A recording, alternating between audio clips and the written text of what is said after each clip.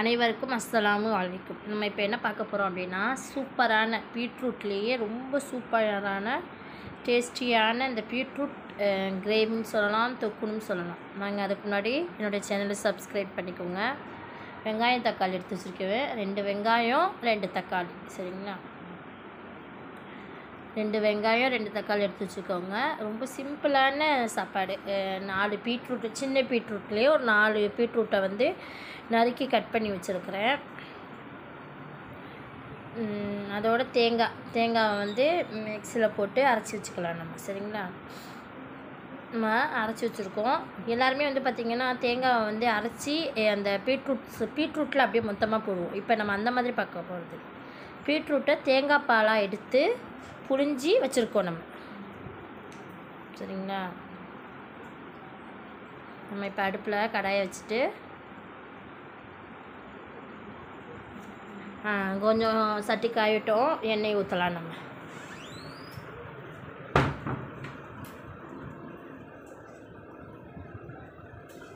சட்டி காயட்டும் எண்ணெய் ஊற்றலாம் ரொம்ப சூப்பரான சாப்பாடுன்னு சொல்லலாம் நம்ம. ரொம்ப ஈஸியான மெத்தடும் கூட சொல்லலாம். பீட்ரூட்டில் வந்து பார்த்திங்கன்னா பீட்ரூட் பொரியல் செய்வோம். தேங்காவை துருவி ஊற்றுவோம் அந்த மாதிரிலாம் இல்லாமல் தேங்காவை வந்து அரைச்சி அதை அப்படியேவும் ஊற்றுவோம் அந்த மாதிரிலாம் எதுவும் இல்லாமல் இப்போ நம்ம மசாலாலாம் எடுத்து வச்சுக்கலாம்.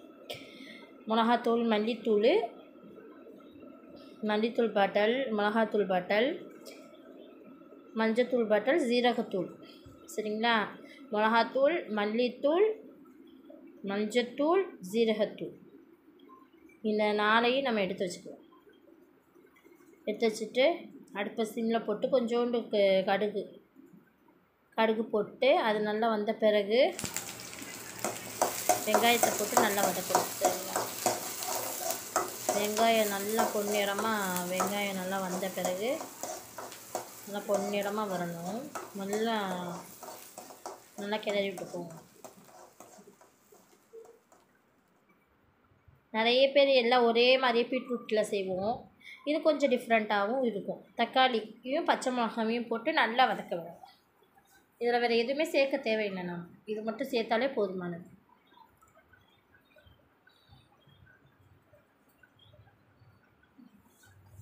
சில பேர் பீட்ரூட்டில் வந்து கடலைப்பருப்பு போடுவாங்க.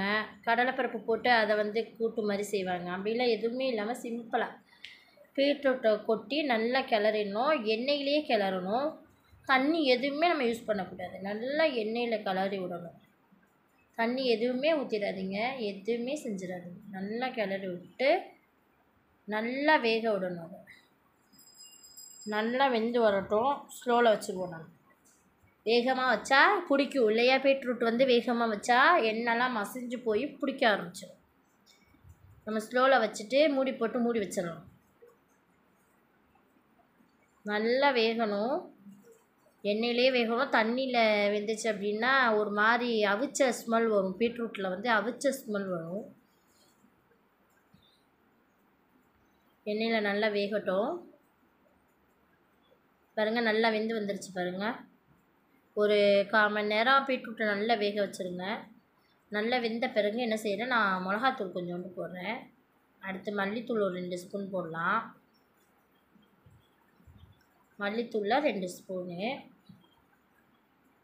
அடுத்து மஞ்சத்தூள் கொஞ்சோண்டு மஞ்சத்தூள். நான் கலருக்கு தக்கன்னு நீங்கள் எடுத்துக்கலாம் நான் மல்லித்தூள் வந்து மிளகா மஞ்சள் யூஸ் பண்ணதுனால கொஞ்சமாக தான் போட்டிருக்கேன். அடுத்து கொஞ்சோண்டு ஜீரகத்தூள். கொஞ்சோண்டு ஏன்னா காரம் காரத்துக்காக தானே கொஞ்சோண்டு. போட்டு நல்லா கிளறி விடுங்க. கொஞ்சம் உப்பு நம்ம சேர்த்துக்கிறோம் நான் உப்பு கொஞ்சம் அதிகமாக எடுத்துருக்கிறேன். அதனால் உப்பு கம்மி பண்ணி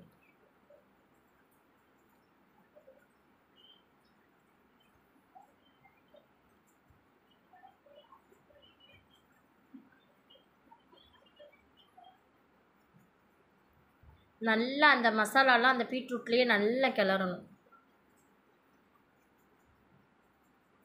அடுத்து நம்ம தேங்காவை திருவி பால் எடுத்து வச்சுருக்கோம் இல்லையா? அந்த பாலை அதில் ஊற்றணும் அதாவது நிறைய ஊற்றிடாதீங்க கொஞ்சமாக அந்த மசாலாலாம் அதில் போய் இறங்கணும் அப்படின்றதுக்காக கொஞ்சமாக ஊற்றுறேன் தண்ணிக்கு பதிலாக அந்த லைட்டாக பால் கொஞ்சமாக ஊற்றுறேன் ஊற்றி நல்லா அந்த மசாலாலாம் அந்த பீட்ரூட்டில் போய் நல்லா சாரணும் நல்லா சாந்து கொஞ்சம் நேரம் மூடி வைக்கிறேன். அந்த மசாலாலாம் அந்த ஸ்மெல் போகிறதுக்காக. நீங்கள் வந்து அந்த வெங்காயம் தக்காளி இது மல்லித்தூள் மிளகாத்தூள்லாம் போட்டு உடனேமே பாலை ஊற்றுனீங்கன்னா வாடை வரும் உங்களுக்கு. அதனால நீங்கள் என்ன செய்யணும் அந்த மசாலாலாம் பீட்ரூட்டில் சார்ந்ததும் அந்த பாலை நல்லா ஊற்றணும் சரிங்களா? பாலை ஊற்றிட்டேன் பாருங்கள் பாலை ஊற்றி நல்லா இப்போ எப்படி தண்ணியாக இருக்குது பாருங்கள் ம் பார்த்துக்கிட்டே இருங்க.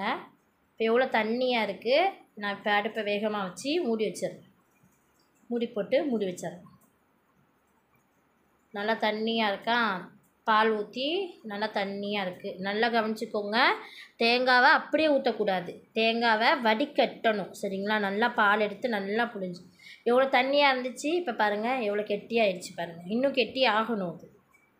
அப்போ தான் சூப்பராக இருக்கும் அது. ரொம்ப சூப்பராக டேஸ்டியாகவும் இருக்கும். பிள்ளைங்களாம் ரொம்ப விரும்பி சாப்பிடுவாங்க அப்படின்னு சொல்லலாம்.